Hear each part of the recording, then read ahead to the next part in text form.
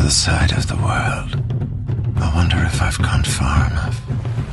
Perhaps it's as my father said no matter how far you run, you can never escape yourself.